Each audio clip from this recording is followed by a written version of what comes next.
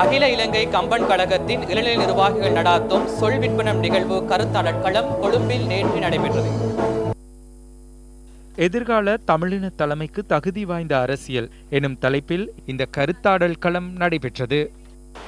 அரசாங்கத்தினால் வசதி செய்து கொடுக்கப்பட்ட பேச்சுவார்த்தையில் ஜெர்மனியில் நடந்த பேச்சுவார்த்தையில் அண்டன் பாலசிங்கம் அவர்களை சக்தி டிவியினுடைய ஊடகவியலாளராகிய அவர்கள் ஒரு கேள்வி கேட்கிறார்? என்ன கேட்கிறார் என்றால்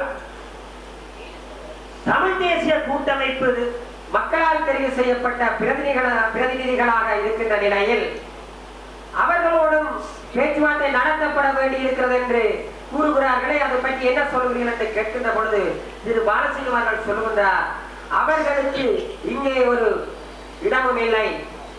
தமிழ் மக்களுடைய ஏக பிரதிநிதிகள் நாங்கள் தான் நாங்கள் சொல்வதை செய்வதற்குத்தான் அவர்கள் இருக்கின்றார்கள் என்பதாக அவர் பதிலளிக்கின்றார். இன்றைய சூழ்நிலையில் உங்கள் கையில் தமிழ் மக்கள் ஆட்சியை தந்தால் எந்த வகையில் அதாவது கூட்டமைப்பினுடைய செயல்பாடுகளுக்கு அப்பால் எந்த வகையில் உரிமைகளை பெற நீங்கள் என்ன திட்டம் வைத்திருக்கிறீர்கள்? இதுதான் கேள்வி. நாங்கள் அடியர்களாகவும் இருக்க மாட்டோம்.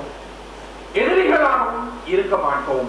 வாய்ப்பை பயன்படுத்த வேண்டும். அடிவாரங்கோடு அரசியல் அமைப்பை பாதுகாத்தல் ஜனநாயகத்தை பாதுகாத்தல் ரணிலை பாதுகாத்தல் என்பது சரியான வாய்ப்பை பயன்படுத்துவது அல்ல.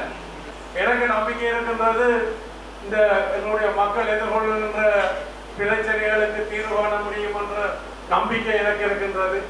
ஆனால் எனக்கு போதிய அரசியல் பலம் இல்லை.